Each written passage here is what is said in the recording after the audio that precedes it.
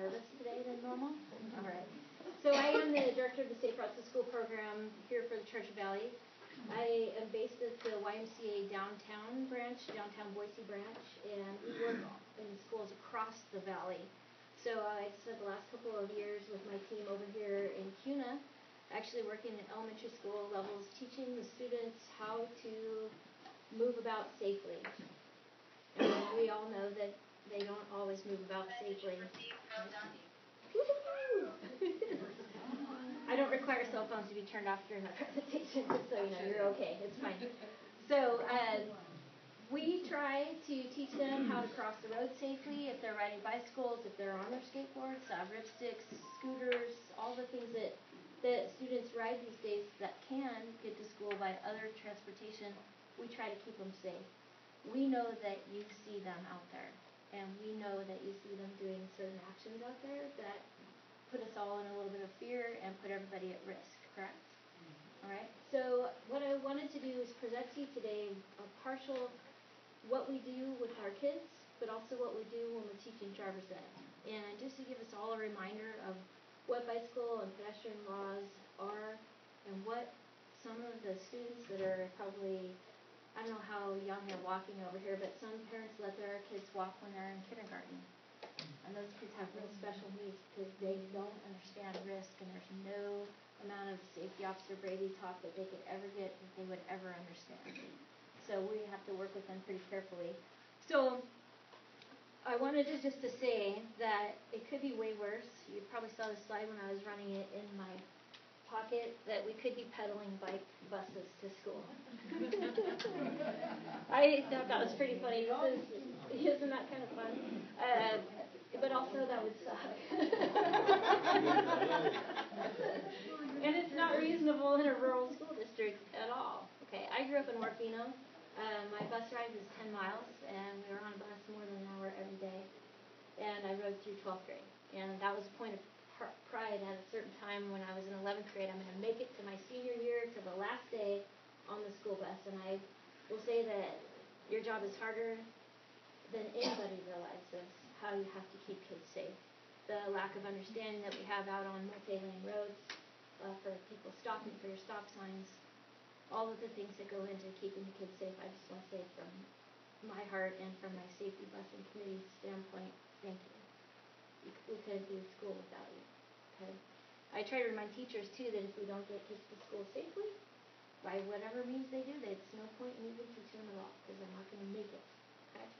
So uh, driver's ed, just remember for all of you, because I know you took driver's ed exams last year probably, uh, or you took it sometime within recent history because you're bus drivers. All people are required to use due care when they're out there on the road. This is really bicycle and pedestrian specific, but it stands for everybody to exercise the caution that's needed to make us all successful. If you can't see my presentation, feel free to move to the back. I'll take as much or little time as you want me to. Uh, you don't have to read all this, but it just reminds us that do the right thing out there and we'll be successful. Visibility for all of us is very difficult. As we become more mature in our lifetime, our vision changes. Okay? I worked for ICARE for 20 years. I am not lying to you. I know this. Okay? Our vision changes, but students don't have a perception of that. They think, I see you. You see me too. Right? That's their whole thing. That's this kid over here in the bushes. He sees you coming. Don't you see him too? No, you really don't. When we work in neighborhoods that are long established or we work on roads that have big bushes around fence lines, um, I know we have a huge old wild rose at my parents' house, and it's really blocks the whole driveway. Okay, so it's a different situation, but we still have to think, what's our environment look like? Those kids are thinking you can see them, but you can't. Uh, a lot of kids are wearing dark colors. I have to wear a black uniform for the Y, and some days I dress in all black just because we're talking kids. We're wearing all black. What could we do different? Okay. Uh, do you have to wear safety vests as bus drivers? Okay. All right. Do you ever have to put chains on your buses? I can remember a bus out there you had to put chains on. We all knew how to do it. All the kids did that lived up on the top of the hill. okay. It can get pretty interesting. When we're out in our environments, this guy here is wearing the urban camouflage. He's wearing all gray on a gray street on a gray day, probably somewhere in Seattle. Really hard to see this guy. He probably doesn't understand that. None of us understand that. I put on what I put on. I go out. I see you. You see me. We all get along like a happy family, but it's not really true. So he's using a technique we call the lead and peek. And you learned this probably when you were little kids, where you look to the left and you look to the right and you look to the left again, right? It serves you throughout your whole lifetime, whether you recognize it or not. This is what we teach the little kids. Just be seen. Can we get students to wear things like this? Mm-hmm. No. When you're picking up somebody out on a rural road, they're standing in the rain. It's a dark roadway anyway, maybe it's dirt. Who knows what's going on out there? Can you really see them? You expect them to be there, but you can't. Hyper awareness is what we all practice, but not every driver out there does that. And you're being passed by people, even on small roads, doing some pretty crazy stuff. What we try to encourage our students to do is just think about it for the trip to the bus or the trip to the school, to put on a little something extra flashy, to encourage parents and grandparents to give their child or their grandchild a safety vest for Christmas instead of a candy cane. Something funny, but reasonable. And we're working on the kids to do that. How can we help parents get to that place too? Bicyclists are required to have lights on their bicycles by law in all 50 states and around the whole world okay? I have a person who, yeah, no kidding. Bike, it's just like a car. A bicycle is considered a vehicle in the state of Idaho. It's under the same provisions of law, except for those that cannot pertain to it, like uh, what your engine speed is, or electric blinker systems, or other things about vehicles like horns. Um, and then there's that funny little thing called the stop law, and we'll get to that here. It's very important to remember and to share the knowledge that we have to have lights on our bicycles at nighttime. If I, does anybody ride a bike in here sometimes? Ever ride a bike? sometimes you're out there riding a bike, and it's again that thing. I can see. I'm sure you can see me. I'm out here moving. Never mind that I'm wearing all black, or never mind that I'm riding on the wrong side of the road, or all those things. So if we can help our students, we have lights that we can give out. Uh, if you know people that are biking, we bring them with us every time we present in Kuna. We bring bike lights for the kids. And then we remind them that they take batteries and teach them how to open something and put the battery in and teach them how a battery actually works. I've been at junior high, uh, well, I graduated junior high a long time ago, but uh, yesterday I was in junior high. And uh, one gal said, well, my, my lights stopped working, so I, I just figured, oh, well, why did they stop working? I'm not really sure, but they just stopped. And, you know, we don't think about how they don't know that. It's easy, it takes a battery. But they don't understand that. How can we help them get there? So remember that. That's another great Christmas gift idea. It doesn't have to be expensive. It could be a dollar store flashlight taped on our handlebars, but it'll help you see them better when they're coming at you. Okay? Uh, and that's the state law. I just give you these things. This again, driver's ed. You don't have to read it, but 49723 says lights are required on your bicycle at nighttime. It also is really specific. It says it only needs a bike only needs a, a red rear reflector. You spend a lot of time out on the road. Is a red rear reflector on a bike enough? No. I think we need a law change on this one to require cyclists to have a blinking light or a red light on the back of the of the bike. All right. Uh, we talk about predictability. When kids jump out from the side of the road, that is unexpected. It's very surprising and not very pleasant. Uh, we try to get kids to know the law. We want everyone to know the law and to follow the law. If we didn't have traffic law, what would happen? Chaos. Chaos, my favorite word, chaos. When we do bicycle rodeos, we have a little circle of chaos, and we don't have any rules in the circle of chaos. You can go any direction you want, do anything you want. And within about three minutes to four minutes, it works out how the pattern should go. They're yielding to each other.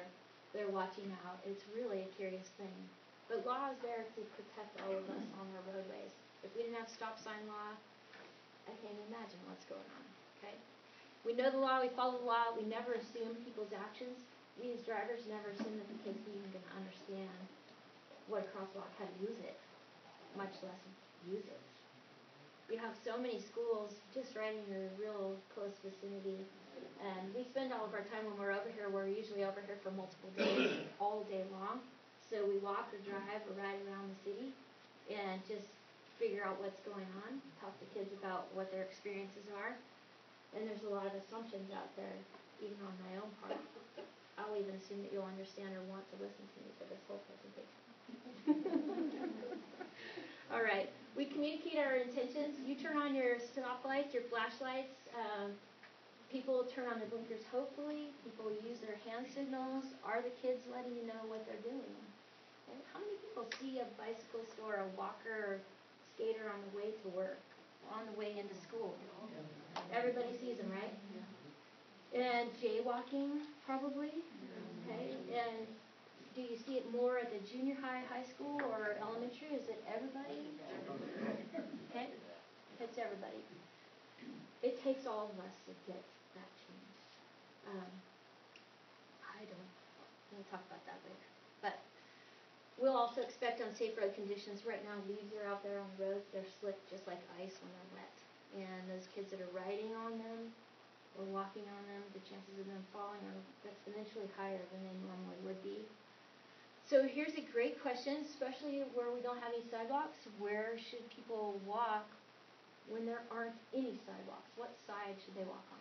Anybody? Facing traffic. Facing traffic.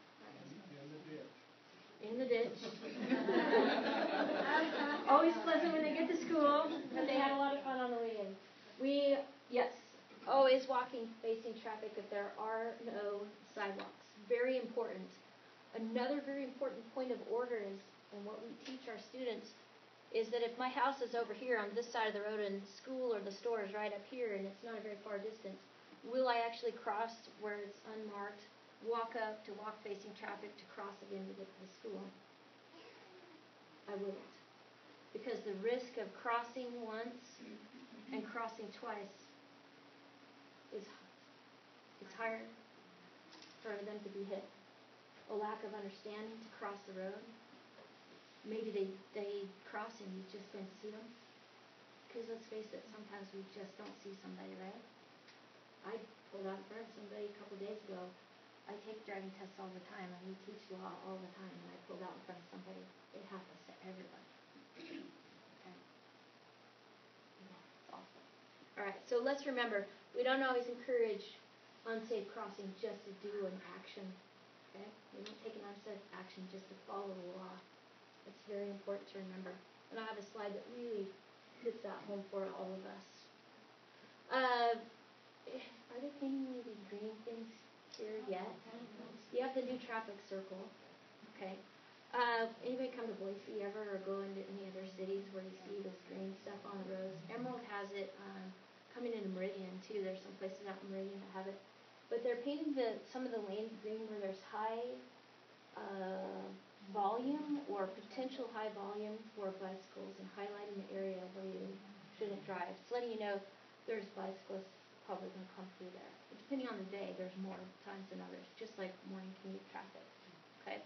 Uh, downtown Boise Capitol Boulevard right now looks kind of like this.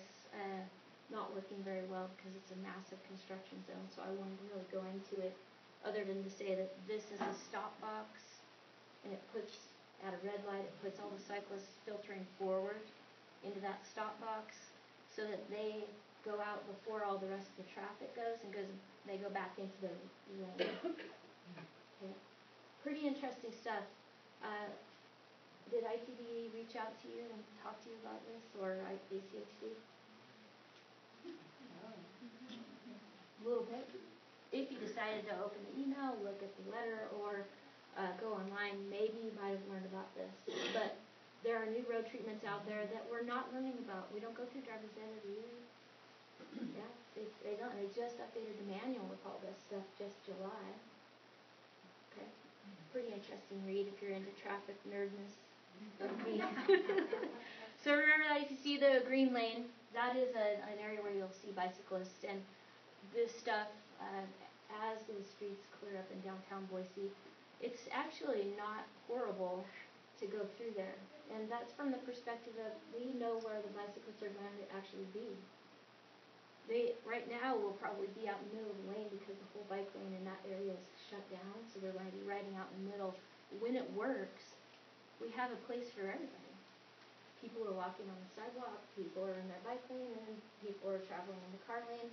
If there isn't a bike lane, the bikes might be in the car lane, or they might be on the sidewalk, and nobody wants them anywhere. Has anybody seen the the shared lane marking, the share arrow, share arrow? That's letting us off. Yeah, the share arrow. We just made that up a couple days ago. so, but it is really called a share arrow. This is an interesting traffic uh, notification. It's letting us know that bicycles will be in the lane. It's usually combined with a bicycles may use full lane sign somewhere in this area. It's very specific. So if the road's too narrow the share two people riding side by side or driving and biking or skating or whatever side by side, they'll put that out there to warn drivers and warn bicyclists this is where we are going to see bikes. And you think about it, this person's out here riding in the middle of the road, the person that's over, oh, hello, kitty. All right. really? Not touching anything. That intersection up there, if uh, there's a left or right turning driver, they're looking this way and they see that bicyclist out there. If they're stuffed up against this little car here, the chances of you really seeing them, especially if they're wearing a dark color, you might see them, maybe. Okay, so it's giving better visibility, just warning people there's going to be a bike out in the lane. Not very comfortable for people who don't know how to use that. Would you feel comfortable riding out in the middle of the road if we all decided, hey, let's go for a bike ride today? It feels pretty awkward, right? Right? And also, yeah. Well, you might be going ten. So the trick of today is that uh, people have electric assist on their bicycles and their scooters and their skateboards, and they're going faster. So you may be looking at a uh, a bicyclist going along the side of the road, and suddenly realize, my gosh, I think they might be going 25 miles an hour because you can't pass them. And they've got an electric assist on assist on there, and maybe it's a lady with two kids sitting on the back, and you're wondering what in the actual world is going on here. Okay, so some of the, these are things that we have to pay attention to. That the technology for bicycles is changing too, and scooters and skateboards. The kids rolling in on these uh, electric scooters now. They're riding on the sidewalks with you walking, and it's putting you at risk. Okay. Again, we want kids to ride, and we want everybody to ride in a straight line. When you start popping in and out of cars, you're in and out of vision. And if uh, we're in an area, I don't have my cell phone right here on me, but if we're in a place where people are walking or driving and they're in and out, in and out, you look down at your phone, you look up, oh, they're there. Oh, you look down again, oh, they're gone, and you accelerate. Right here is an impact point that we don't think about. And if a person just pops right back out there, you probably, a good driver, will veer away from them, but it's a sudden action and could cause a head-on collision if somebody else on the other side isn't paying attention. And what we're seeing probably out there right now is a failure to yield to oncoming traffic when there's something in the road obstructing, right? You drive all the time, don't you?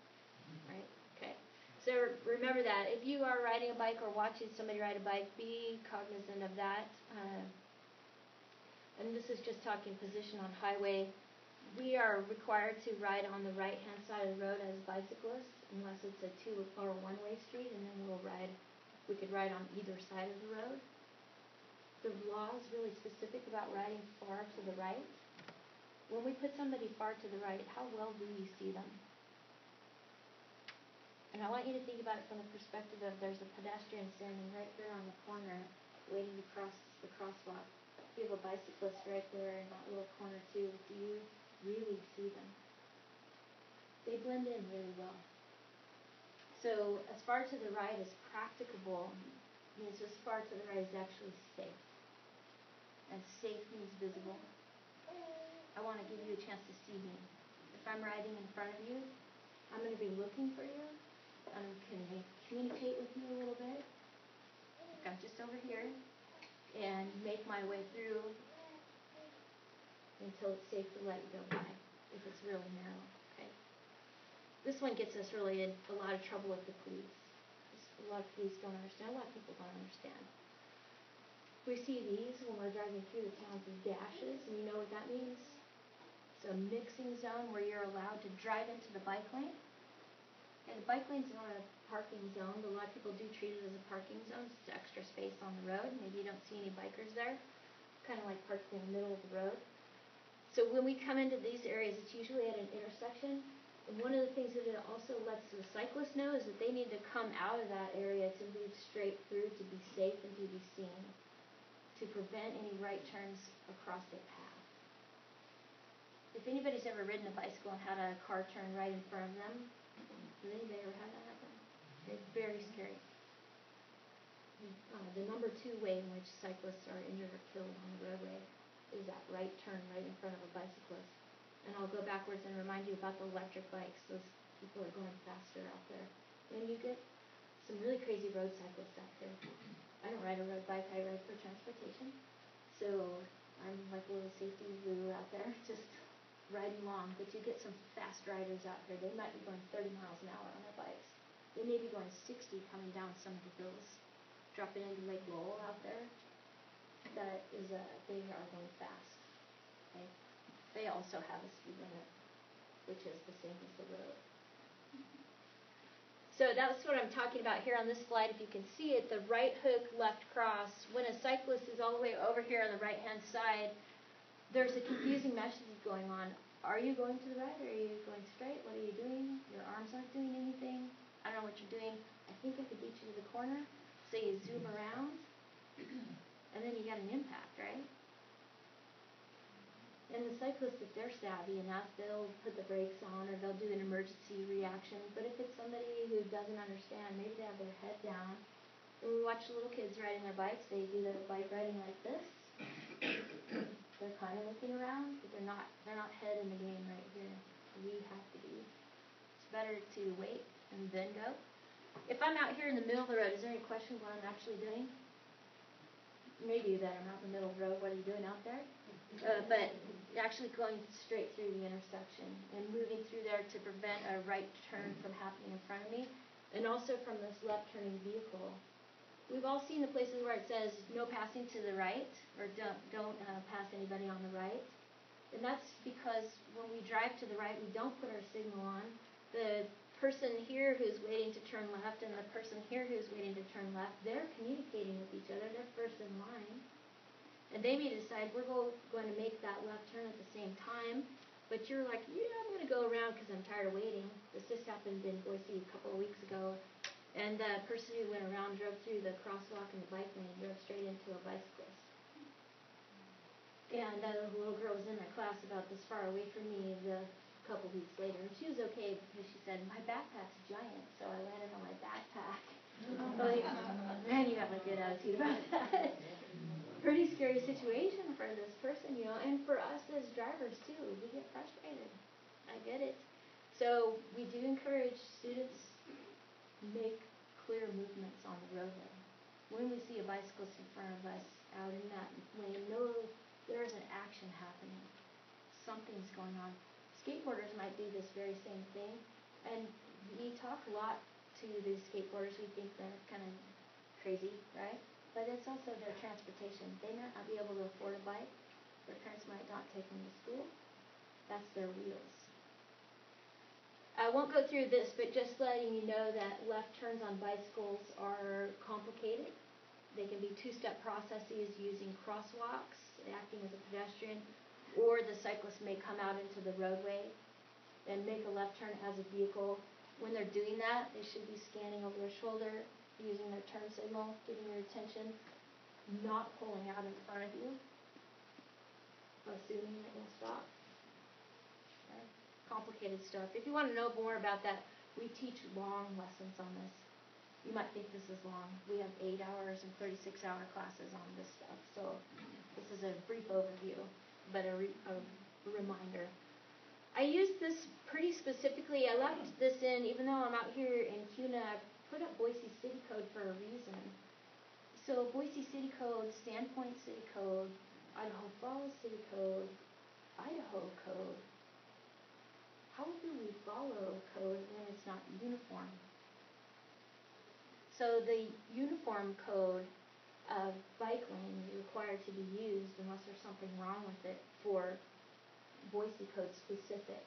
Idaho code says that a bicyclist is stay to the right of a bike lane's there, they can ride in it, but they might not have to ride in it. There's not a lot out in the general state. They're usually in urban centers or on weird roads where ACHD decided to put one in.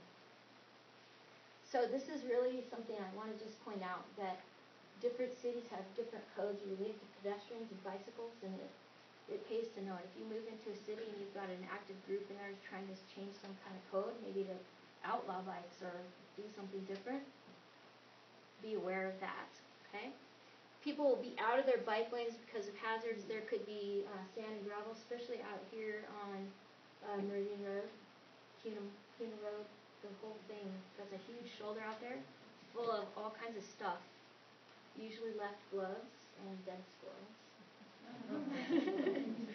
if you ever pay attention out there, there are so many gloves. There's a glove um, somewhere. I just walked by one not very long ago. Uh, door zones, uh, bike lanes if they're built out there and there's parking next to them, most of them are door zone bike lanes where we have a tendency to ride closer to the parked vehicle. But what danger does the parked vehicle present to you? The door opens. And what happens when the door hits somebody? Yeah. yeah. Both people got to go to the body shop. if they're lucky. Uh, you know, you're not coming in to visit and have coffee you might go through the window. Uh, sometimes we tell people aim if this happens, aim for the center of where the door is, where the hinge is. Yeah, no kidding, because it's an angle. You hit flat, bounce you back, and bounce you out on the road. This is how cyclists truly die. Uh, we had one in Fort Collins just uh, a few months ago. The cyclist hit the door, out into the road, the driver decided he never had a chance and ran the person over. We don't want that to happen, right? Pretty significant injury to everybody. Your psychological injury is difficult. Difficult. So we're reminding cyclists, you know, get away from that parked car because the driver in the moving vehicle has to pay attention to the roadway. If you're out here, they see you as a danger. They want to get away from you. They want to ride away from you stay away from those parked cars, especially adults. If you're riding in a downtown area, get away from those people. Because you know what happens is they get in the car, you get into your car, you get out of your car, kick the door open, I do it all the time, and then you look. State code requires you to look over your shoulder before you get out of the car make sure the way is clear and then open your door. But we really don't do that because we're so used to being in our car. So we kick our door open like, I'm so hungry, I gotta get pizza, I gotta text my friend oh god, that bicyclist, I just knocked him out. Or a pet, or who knows, skateboarder. You know, it could be anybody. And so one of the things we talk about is the Dutch reach. If you think about it, open your door with your right hand. There's two things that happen. You're forced to look over your shoulder to see if anybody's there. You're also getting a nice stretch on the back of your shoulder. Okay. So a little in-car yoga never hurt anybody. People be out of those bike lanes too with the grates a grate stops you and throws you over the handlebars, it's a good idea to wear a helmet. It's a good idea to wear a helmet. Narrow bike lanes are all over the place. So just give you a couple of examples. This person, this is not a bike lane. These are driveways that are partially paved. The seam is all the way down there, and the longitudinal crack in the road can catch the wheel and throw the bicyclist one way or the other. And we don't want people taking a crash in front of us either. And then this is a picture of Hill Road in Boise over by Gary Lane.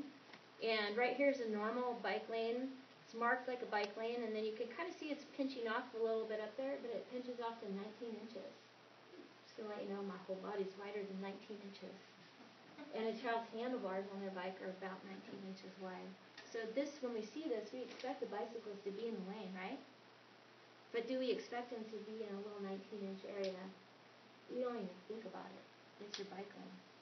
But it's not a bike lane. You can't pass them. You can't pass them that way. Um, coming into some of my final slides, which is good, uh, single file. The law is really specific that you can ride double on a bicycle, but you need to fall into single file when vehicle traffic is behind you. You can come back out into double and then go back into single. Notice I keep saying double.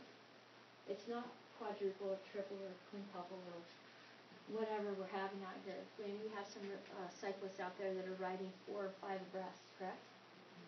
And we're trying to reach those people. I want you to know. We're really trying. But that law, the law is very specific. This is probably a special event, so there probably some kind of warning system, but it's still, the messaging is there. You're taking up the whole road. Okay? So that's just the law, riding two abreast. It's there, 49718. You don't have to make a note of it. This is the slide also that's a Boise City code and one that uh, we had the honor of talking to 500 driver's ed instructors in the last year about teaching bicycle pedestrian safety to the driver's ed students. So this picture is kind of hard to see. It's a little bit dark, but we have a cyclist here. We have no shoulder. It's a regular old two-lane road. He's on. Yeah, probably so. Okay. and you have driveways up here. You've got anything going on. And the truck is passing the cyclist. And the cyclist is all of us. You know, and the driver is all of us. And I had a driver's ed teacher tell me, and I'm this is what motivates me to teach all the time. The driver's ed teacher said, I'm not going to list, risk the life of many to save the life of one. What's the very first thing you do when you come up to an obstruction in the roadway? Slow down. I still, yeah, it could be a million things. Farm implements, yeah. You know, we identify, decide, predict, and execute without execution. We do the movement. It's okay to go around this person slowly and it's safe. The double yellow line tells us, hey, you're not supposed to cross the line. So that was the argument, was, well, I'm not supposed to cross the line. I'm not going to break the rule to save somebody. I'm not going to break the law to follow another law because safe passing distance is three feet in the city of Boise and maybe Sandpoint, which isn't a whole lot, right? They kind of need to feel uncomfortable at 60 miles an hour. Is he still teaching that today? Yeah. You hit him with your stick? He's a great earner. We had a good conversation afterwards. I was I took two hours for that class. I had 40 minutes. And they let me keep on talking because it became this conversation with about 75 drivers and instructors that they're people in the cars with the students. And the messaging out there, like, this, this affected me deeply. Deeply. I'm still a little verklempt over it. So, remember that this is paint, and this is a human, and that's a human the responsibility of drivers ahead on these little driveways and other places is to also look forward and look to the side and decide, is it safe for me to pull out? If you see this situation, are you going to pull out? Probably not, unless you're not paying attention. So just that scared me a lot. But again, Boise City Code, passing distance does matter. this was Kalamazoo, Michigan this year. Yeah. That's the impact of all the cyclists, bikes on the truck. Five people died. The guy lived and walked out of the vehicle. He was pretty high on drugs. Okay, uh, pretty significant. Age ranges from 71 down to 40. But, uh, riding club just out. Pretty sad stuff. I'll move on. Okay. So I said I'd get to uh, stopping, signaling. We are cyclists and people who've broken blinkers are required to use your hand signals. This is your left, that's your right.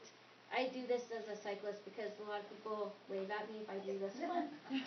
Like, ah, you know what, I'm going to the right. But I'll just do this, I'm like, yeah, thumbs up. I'm still going right.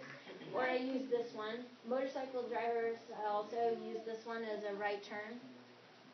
And then stopping. And if you see somebody doing something like this, what do you think that means? Slowing or uh, there's something ahead, there's something they want to warn you of that. Not very many people, you don't see that very often, but it's a pretty significant uh, action. Confusion reigns when we're riding with big packs of road cyclists. What I'm seeing is they're using the opposite hand to hand signal. You cannot see that. So we're trying to change that too. I wish I was really an officer of the law. Okay, those are your hand signals. We teach that to the students. We love to teach it to adults because they forget. Very significantly, stop is yield, also known as the Idaho stop law. Very confusing.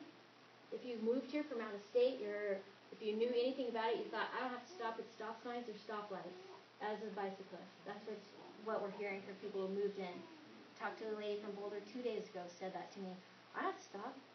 Yeah, you do. You still have to stop. Okay. Stop as yield is a, a law from the 80s. It's in the legislate. It was legislated to allow bicyclists to come to a full stop at a red light, then proceed through if the way is clear.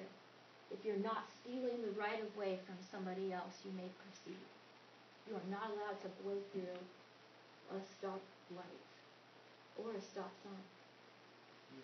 Stop signs are treated as a yield. You are required to stop if it's not your turn to go. But how many people do we see just blow right through a stop hmm. sign right in front of us? Okay. Significant.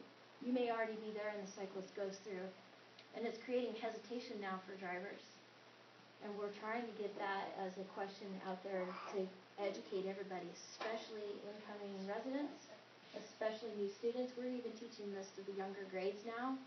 Idaho stop law, we didn't used to teach it, but in uh, seventh through ninth grade. Now we're teaching in fourth and fifth grade. These kids are out there doing these actions. They grow up with bad behavior, and their parents are like, "Let's not stop." Yeah.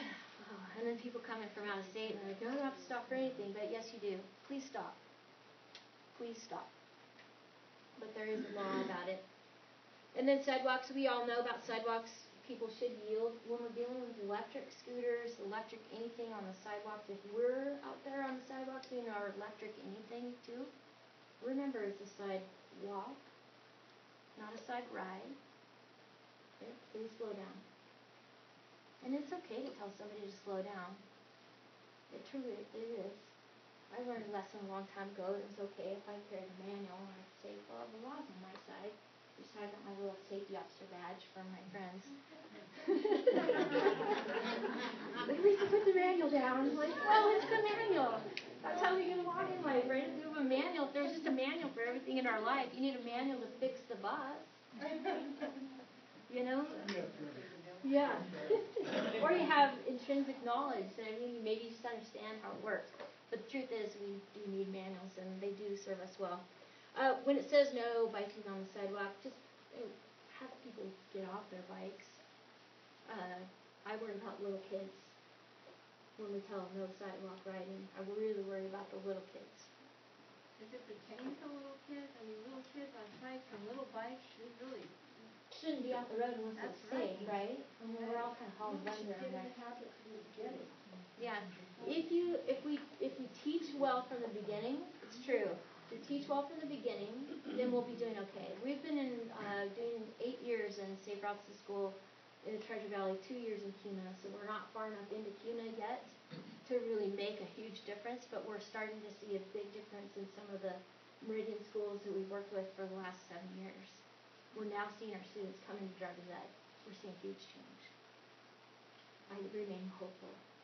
But um, there are days of hopelessness. I for sure remember that. Uh, our difficulty crossings. These are big roads out here. People do have to cross them. Mm, it's awful, but that I want to remind us all. And we, you know, it as a school bus driver, I watched it happen this morning. Everybody all of a sudden just jam, jamming over to the left lane, and I, there, there's the school bus with the red lights on. You don't get to pass that. Remember, there's kids. Okay. And remember, as adults too, when you're crossing a two or four lane roads, remember look all the directions. That first driver does stop, but the driver behind is like, "Oh, I'm late for pizza, and rolls around. I gotta go. I'm late for work, or I was on my cell phone. I didn't see you. And the same thing, bicycles on sidewalks are allowed unless it says not.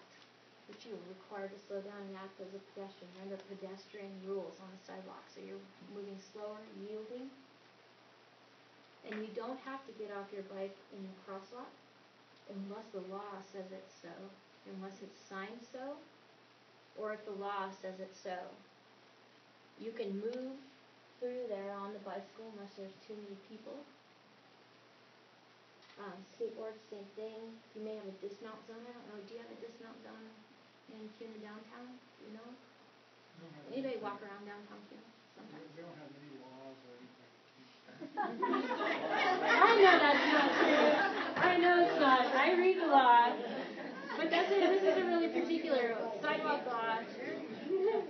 Sidewalk law is very particular to cities though. It's very particular to uh, individual districts and very Nampa downtown, a short walk section, no bikes on the sidewalk. So it's really particular to different areas in every kind of town. You know, they, uh, Coeur d'Alene on Sherman Avenue, no bicycles in the place where everybody would want to go. It's where all the stores are and the grocery and everything's on that and no bikes. Uh, finally, driveways, we know what kind of danger that represents.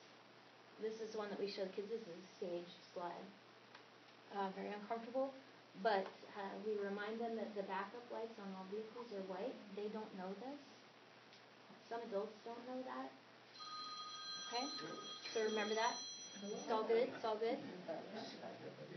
So, with all the knowledge that you now possess, what's wrong? I didn't ever talk to you about what side of the bike, what side of the road do bikes ride on? What? Same side. Yep, right side. Right side. I didn't talk about that. So, what's what's going on with these dudes?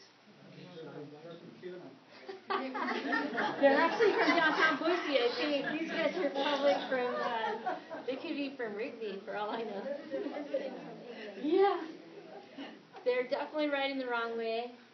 Wrong way ducks. Yeah, wrong way. They're in a busy area and they're side by side. Side by side busy area, yeah. It's a one way road as far as we could tell. Um, they don't have any helmets on, but we don't have a helmet law here in Boise or Kuna or Marcy or Potlatch or anywhere in Idaho. There's no helmet law. Okay? But uh, a helmet's only part of the part of the equation. Okay? Uh, the one guy has one hand off the handlebars. That's actually okay. Two hands off the handlebars is like driving your car without any hands on the steering wheel. Okay, doesn't really work out so well. You know, there's all kinds of stuff we can do. I mm, they always work. Uh, this though, the paint again. I was talking about double lane paint, but this paint where the sharrow is, if this person opened their door, is the cyclist safe? No, because it's actually painted too close to the vehicle. There are standards for all of these uh, paint markings.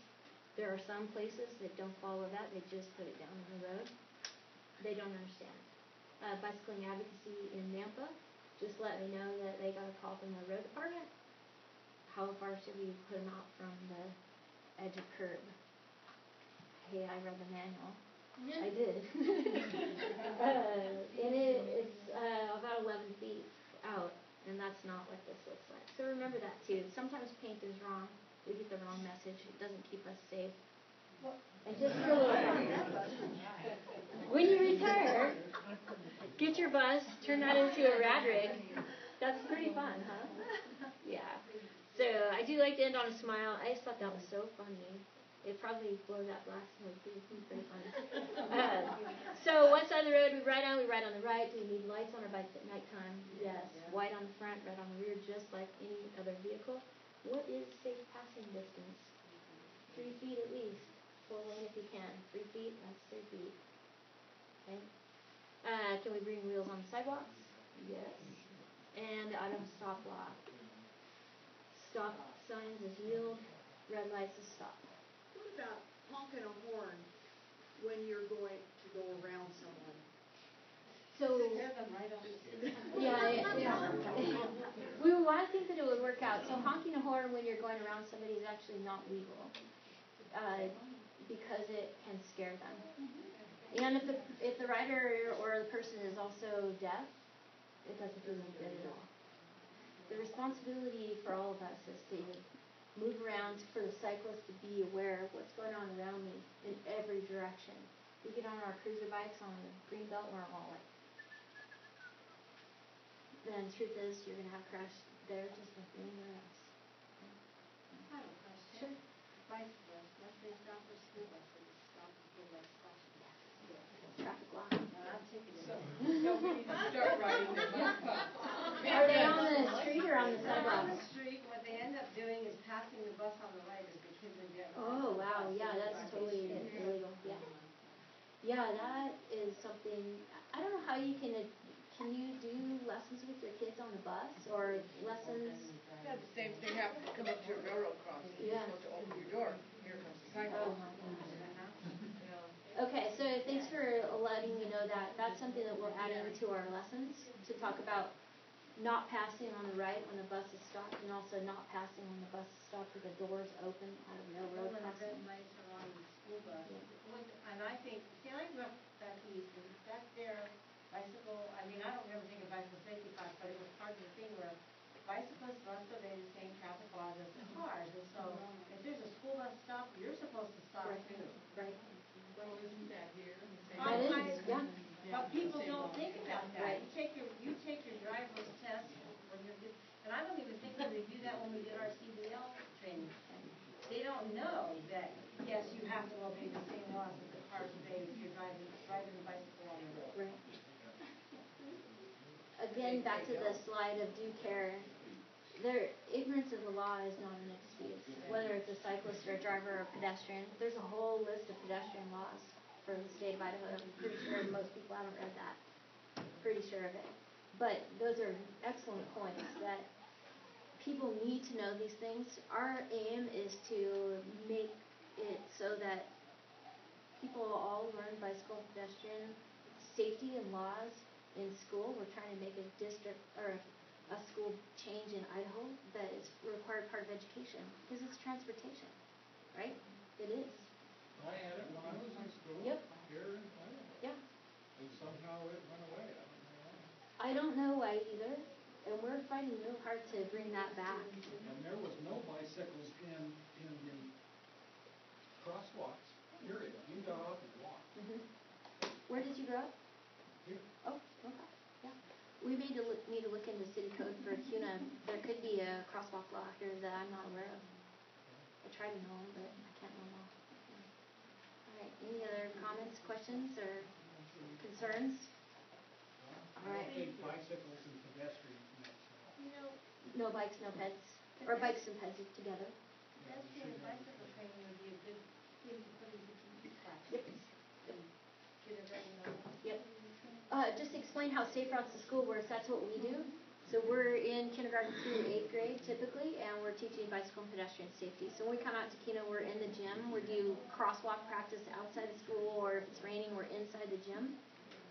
We do bike rodeos with a couple of the schools, we just did the community rodeo with Crimson Point, and then we'll, um, read for field day. Uh, we're trying to get a couple more on board to do the little rodeos, we're teaching kids skills, signaling, looking, that kind of thing, so we definitely are trying to build that transportation education. That's what we're starting to see the fruits of that labor now in Meridian. It took seven or eight years to get to that point. And so we're starting here, but we're not gonna quit. We're gonna make it better, yes. You know, we're in a neighborhood or a community with a lot of farm equipment. Mm-hmm. And a lot of our highways have the double yellow line. And we're following this. What is the regulation for a school bus passing? Whew, that I can't even say. It's slow moving vehicle, right? I mean, they're very slow, many Right. times. Right, Tractors, in particular, they're towing a right. implement. I would defer to your transportation specialist. How far can you follow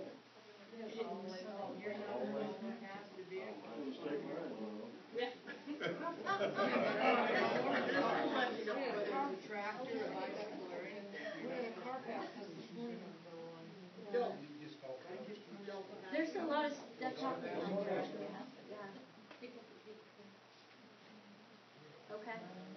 Okay, now, I, I, I follow them, uh, but I've had cars behind me that will pass both of us On a double yellow. Yeah. on double yellow. So what, at what point though, does the, the farm implement, and I understand rural, remember I grew up in rural, so I understand wheat trucks, uh, going slow up hills. Uh, wh- at what point does the driver of the implement look behind and say, okay, I've got the delay of three vehicles, which is state law, then to pull over. Oh, yeah, slow moving, yeah, that's slow moving vehicles are required to, to pull over if there's three or more vehicles behind them. I don't know that. I would recommend picking up, I'm sorry I don't have a bunch of driver's manuals with me. I would recommend going online and looking at the online driver's manual or getting the, the actual physical copy of the driver's manual, refreshing your, refreshing your driving law, because you have rights out there for that. I was following a slow moving vehicle, and he kept trying to wave me around, and it was double yellow line, and I was like, no, I can't. Yeah, sometimes the risk is just too great. Yeah. Thanks for being awesome, you guys. I'm headed to junior high, so, hey, thanks.